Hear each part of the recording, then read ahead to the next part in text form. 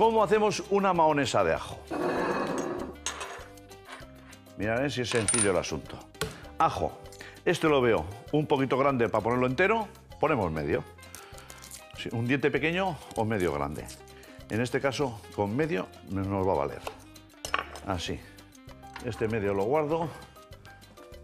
Y con este medio picadito así, ahí en el fondo. ¿eh? Medio diente de ajo. Le da mucha chispa a una mahonesa. ¿eh?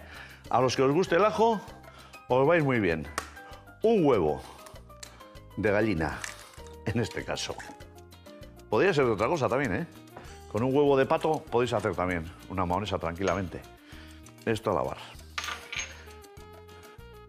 Sal, pizquita de sal. Chorrito de vinagre.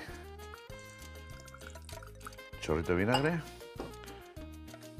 Aceite de oliva del bueno. Quietitos. Quietos al principio. Y ahora para arriba y para abajo.